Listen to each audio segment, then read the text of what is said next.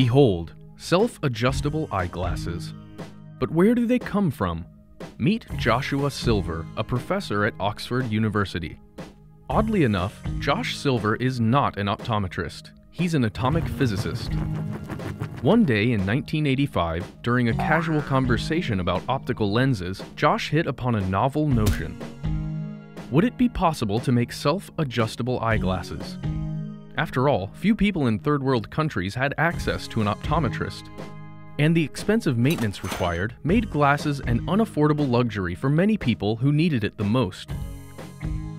Josh knew the answer had to be low cost, flexible, and essentially one size fits all. Here's how the self-adjustable eyeglasses work.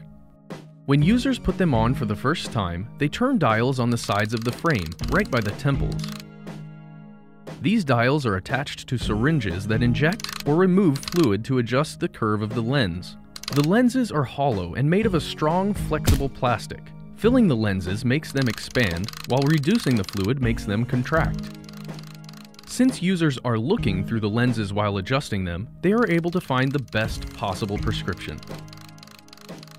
After this adjustment, the users seal the valve and break off the fluid mechanism, leaving nothing but an ordinary pair of spectacles. With the self-adjustable eyeglasses, Josh had struck at several vision-related problems in the third world. More than 30,000 of these eyeglasses have been distributed across the globe,